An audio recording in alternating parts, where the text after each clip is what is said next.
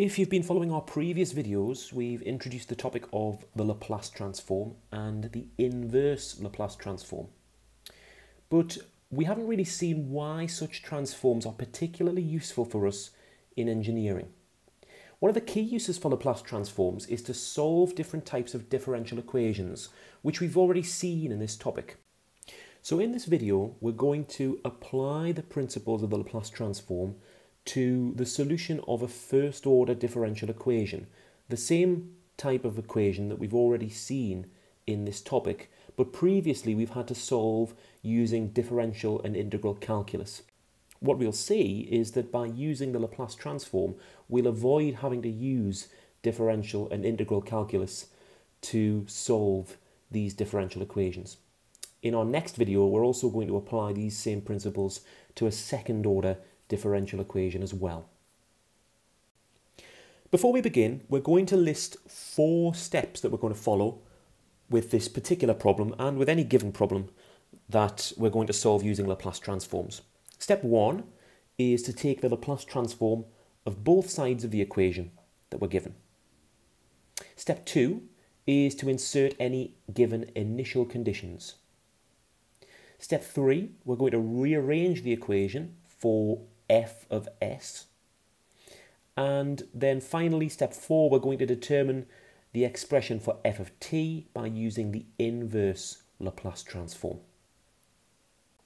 So for the example in this video, let's have a look at this circuit. We have a series RL circuit and the current that flows through this circuit, the current I, is a function of time and it's given by this equation here, Ri plus L di by dt equals 0.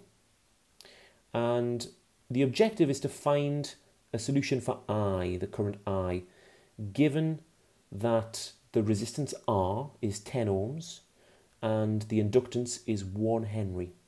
And we're also told the additional information that when time is 0, the current I equals 3 amps. But that's not a constant current. Uh, the current's going to change over time.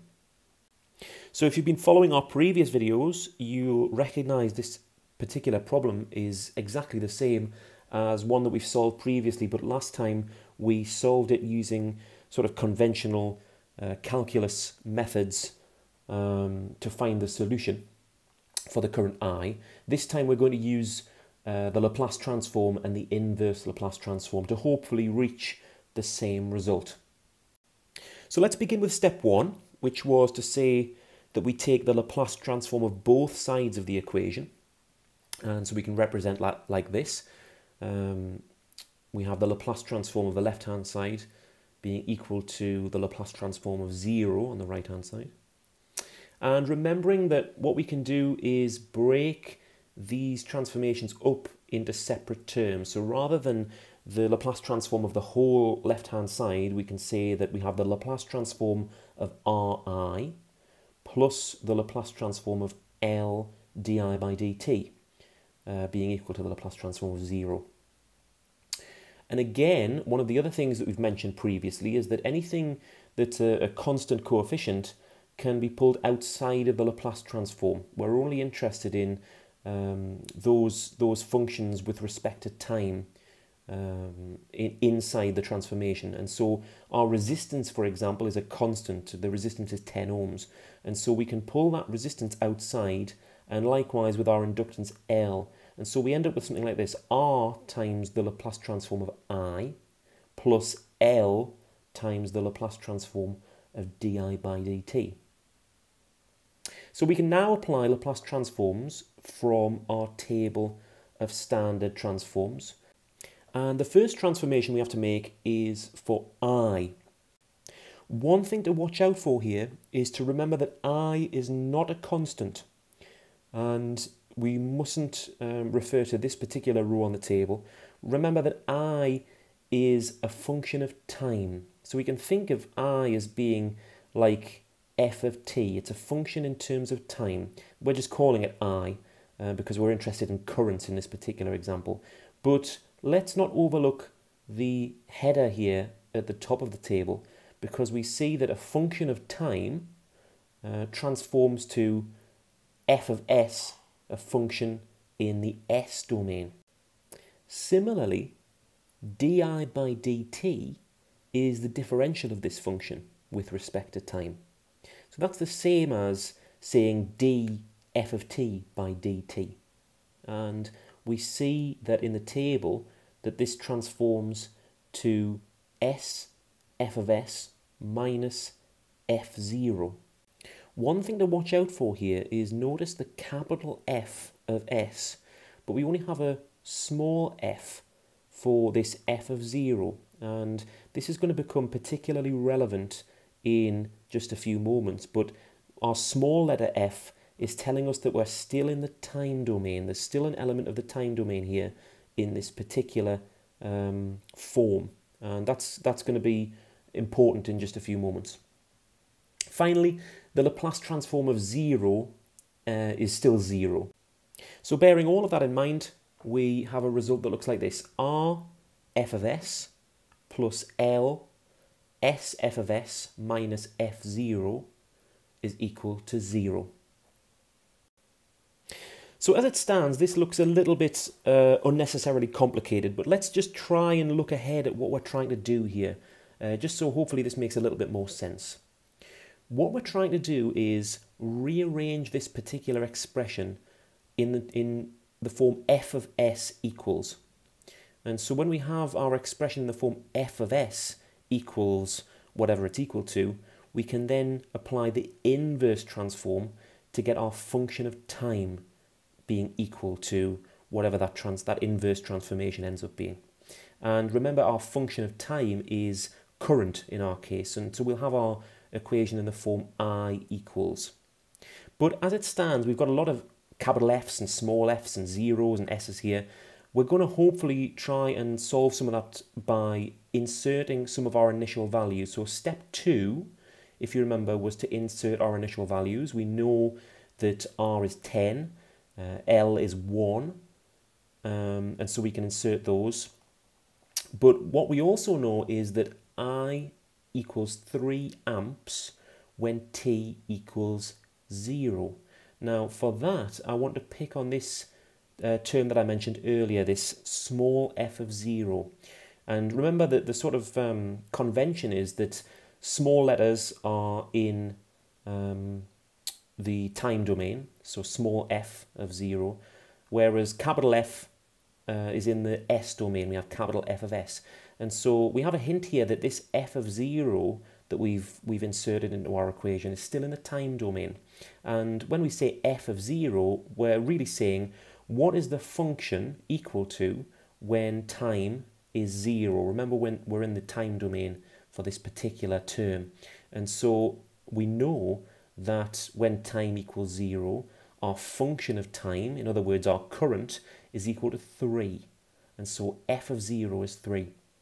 And so knowing all of that, we can insert those values. We get something like this. We get 10 f of s plus 1 multiplied by s f of s minus 3 is equal to 0. Well, multiplying something by 1, we can, um, we can remove that. Um, and so we have 10 f of s plus s f of s minus 3 equals 0. And then step 3 requires us to rearrange our equation for f of s. We want a function in the form f of s equals. And this step will always be different for different examples because it depends on what your function looks like.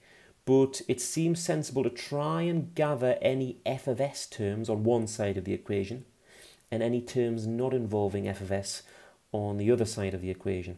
And in our case, that's, that's quite easy. We're just going to add 3 to both sides. So we have something like this. 10 f of s plus s f of s is equal to 3 and then we can pull out our common factor of f of s. So we have f of s multiplied by 10 plus s equals 3. And to get f of s by itself, we're going to divide both sides by that bracket there. We have finally f of s equals 3 over s plus 10. So step 4, the final step here, uh, reintroduces this idea of the inverse Laplace transform that we looked at in our previous video. And when we look at our table of standard Laplace transforms, we can see that the expression that we have here currently doesn't perfectly match any of those in the table. But if we pull out a factor of 3, we can express our function something like this. f of s equals 3 multiplied by 1 over s plus 10. This is starting to look more like something in the form of our exponential decay um, function in the s domain here. And so what we can do now is we can apply our inverse Laplace transform. Um, remembering we can pull that, that um, constant coefficient of 3 outside of the inverse Laplace transform, we're now going to convert f of s to f of t. And we do that by saying that that's equal to 3 times the inverse Laplace transform of 1 over s plus 10. And in our case here, we can see that 10 corresponds with a. And remember, looking at the table again, that though a is a positive term on um, the second column in the in the s domain, it's a negative term in the time domain.